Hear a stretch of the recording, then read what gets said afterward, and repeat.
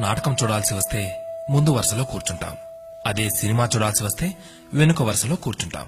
ముందు వెనుక అన్నవి సాపేక్షం. సబ్బును తయారు చేయాలంటే ఆయిల్ కావాలి. అదే చేతికి అంటిన ఆయిల్ని పోగొట్టుకోవాలంటే సబ్బు కావాలి. చిత్రంగా ఉంది కదూ జీవితం కూడా ఇంతే. సమస్య వచ్చి పడింది జీవితం అయిపోయింది అనుకోకూడదు. దానిని ఓ మలుపుగా భావించాలి. ఈ ప్రపంచంలో ఇద్దరే ఇద్దరు ఆనందిస్తారు. ఒకరు పిచ్చివాళ్ళు మరొకరు చిన్నపిల్లలు. గమ్యాన్ని చేరుకోవాలంటే పిచ్చితనం కావాలి. చేరుకున్న గమ్యాన్ని ఆనందించాలంటే చిన్నపిల్లలైపోవాలి. తాళంతో పాటే తాళం చెవి కూడా తయారు చేయబడుతుంది.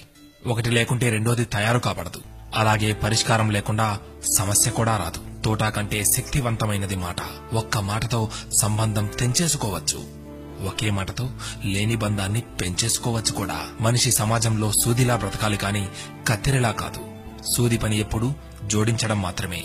కత్తెర పని ఎప్పుడు విడదీయడమే. అందరినీ కలుపుకుంటూ బ్రతకాలే గాని కత్తెరలా విడదీస్తూ కాదు. నిజాన్ని మార్చే శక్తి ఈ ప్రపంచంలో ఎవ్వరికీ లేదు. కాని ప్రపంచాన్ని మార్చే శక్తి ఒక్క నిజానికి ఉంది.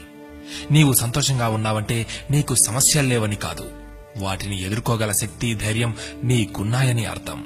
స్నేహితుడిని నీ దుఃఖ సమయంలోనూ యోధుడిని యుద్ధంలోనూ భార్యను పేదరికంలోనూ గొప్ప వ్యక్తిని అతని వినయంలోనూ పరీక్షించాలి. చేసిన తప్పుకు క్షమాపణ అడిగిన వాడు ధైర్యవంతుడు. ఎదుటి వారి తప్పును క్షమించగలిగిన వాడు బలవంతుడు.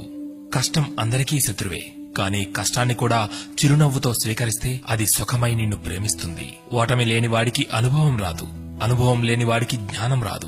గెలిచినప్పుడు గెలుపును స్వీకరించు. ఓడినప్పుడు పాఠాన్ని స్వీకరించు. ఓడిపోయి విశ్రాంతి తీసుకుంటున్నప్పుడు ఆ ఓటమి నేర్పిన పాఠాన్ని చదువుకో. నీవే గెలుస్తావు. ఎవరికైనా ఉండేది రోజుకు ఇరవై నాలుగు గంటలు మాత్రమే.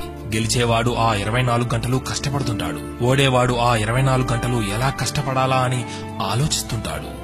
అంతే తేడా.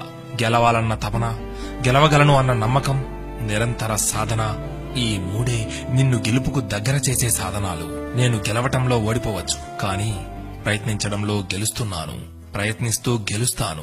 గెలిచి తీరుతాను. స్వయం కృషితో పైకొచ్చిన వారికి ఆత్మవిశ్వాసం ఉంటుంది గాని అహంకారం ఉండదు. ఏమంటారు?